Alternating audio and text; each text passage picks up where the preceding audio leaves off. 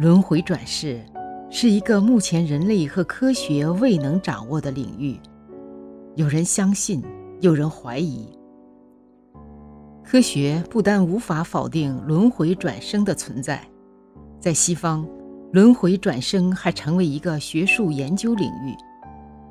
记得自己前世生活的案例也屡见不鲜，在儿童身上特别常见。美国哥伦比亚大学教授科利就走访了很多拥有前世记忆的孩子及其家人，其中包括一个前世可能是2001年美国911恐怖袭击死难者的男孩。这个男孩名叫凯德，凯德出生于2004年，一岁半时即可和大人谈话。他妈妈表示，凯德说。从他的办公室可以看见自由女神像，他还记得自己掉了下来。轮回专家认为，很多儿童对前世的回忆是发生在噩梦中。莫莉·库尔纳特的儿子凯德也不例外。库尔纳特说，凯德很小的时候是个很好的宝宝，他会长时间平和宁静地睡觉。当凯德三岁时，他会醒过来后尖叫说：“掉下来了！”自由女神像，以及有关他的腿被折断的词句。库尔纳特猜测，凯德前世可能死于911恐怖袭击。他表示，凯德谈到闪电、两栋楼、一个人掉下来。这时，我开始觉得他在描述911。作为一个母亲。我很担心，他这么小就如此关心死亡和死亡经历，但他总是告诉我，我们不会死。他告诉我，他选择了我。他告诉我，他年纪比我大。经过调查，库尔纳特已经知道那个曾经在世贸大楼工作、死于911的人士，但他并没有打算联系死者的家人。像凯德这样的儿童并不是唯一。美国贝斯卡皮姆的女儿卡森小的时候的回忆，也令他认为女儿前世死于1995年俄克拉荷马城爆炸案。卡皮普说：“如果你在一个暴力事件中死亡，你今世可能会记住你的前世。”他表示，女儿五岁时。谈到俄克拉荷马，他说起一个男人开着卡车冲进一栋建筑，那栋建筑倒下了，以及关于爆炸的记忆。我很害怕。我想知道是否有其他孩子也谈到俄克拉荷马城爆炸案。当我在网上搜寻时，我发现有很多家庭拥有记得自己前世的孩子。但我没有发现任何人的孩子记得俄克拉荷马。卡皮普接着说：“但这仍然令人欣慰，因为其他孩子也拥有这样的回忆。我不是唯一拥有记得前世的孩子的人。”俄克拉荷马城爆炸案发生在1995年4月19日，是一起针对美国俄克拉荷马城市中心埃尔弗里德 ·P。莫拉联邦大楼发起的本土恐怖主义炸弹袭击。这起爆炸案是2001年的911袭击事件发生前，美国本土所遭受最为严重的恐怖主义袭击事件，共计导致168人死亡，另有超过680人受伤，还令方圆16个街区的324栋建筑物受损或被毁。共计造成至少价值六点五二亿美元的损失。前世是二战飞行员的男孩。这是一个记得自己前世是二战飞行员的美国路易斯安那州男孩詹姆斯·林宁格。大约两岁时起，林宁格开始出现接连不断的梦魇。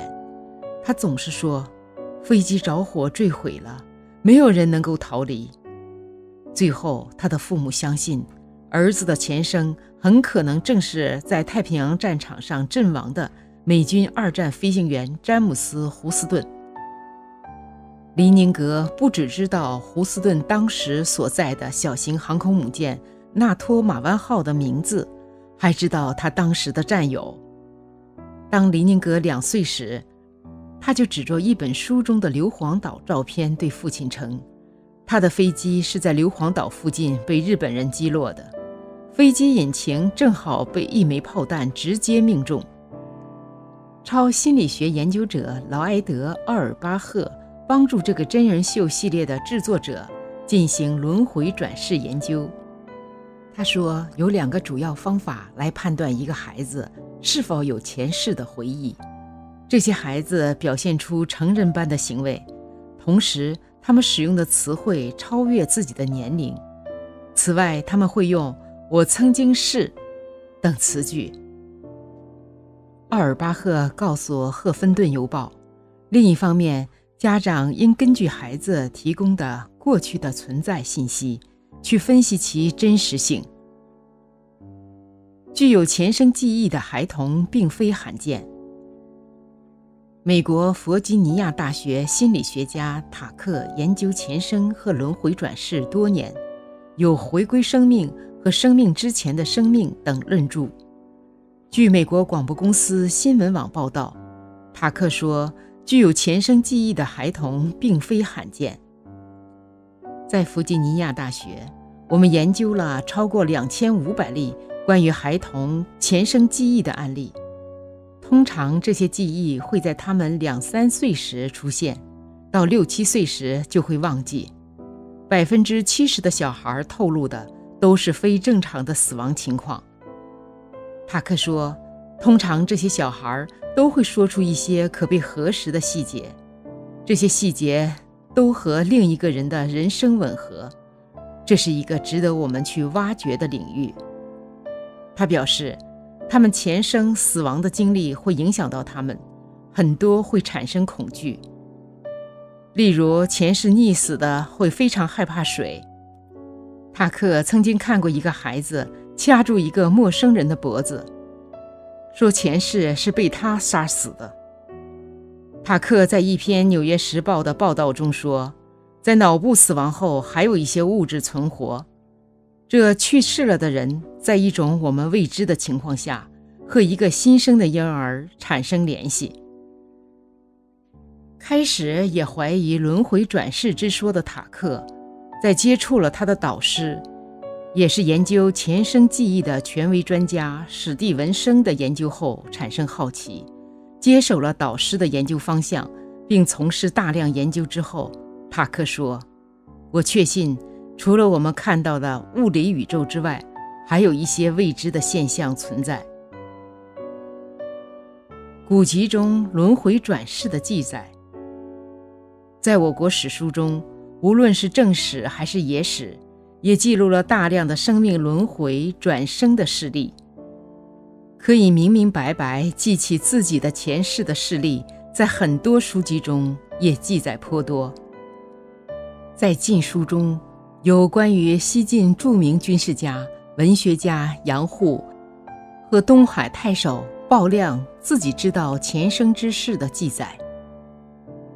杨户五岁那年，一天。他忽然让乳母找出他玩耍的金环，乳母告诉他从来没有此物，杨户就让他到邻居李氏家的东环桑树中去找，果然找出金环，主人非常惊讶，说那是他那死去了的孩子丢失的呀。诗人都对此事深感诧异，认为杨户的前身就是李家的王儿。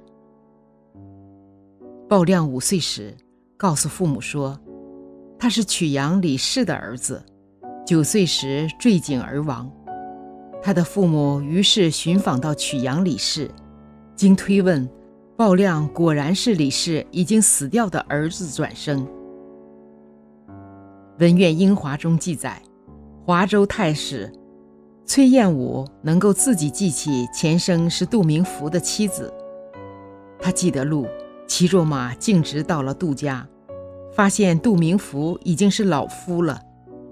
崔彦武对杜明福诉说自己前世的旧事，居然全都准确无误。并且从墙中取出了前世他藏在里面的经书、金钗，还从庭前槐树下取出了前生埋的头发。《岳微草堂笔记》中记载，清人恒荫堂的叔父生下来才几岁，便自称前身为城西万寿寺的僧人。他从来没有去过那里，却能画出该寺的。殿宇走廊、门庭路径，以及寺里的庄严陈设和种植的花树，去那里验证，全都符合。这么多的例子和记载，足以说明轮回转生并非奇事，人也并非一生一世，因果不虚，善恶有报。希望大家都能精修佛法，行善积德，以求早日超脱轮回。往生极乐世界。好了，今天的分享就到这里了。复盛必有衰，和会有别离。希望此次相遇能给大家带来收获。如果您喜欢本期内容，请在视频下方点个赞，或者留言给出您的建议。还可以在右下角点击订阅和分享。您的支持是我最大的动力。咱们下期不见。不散。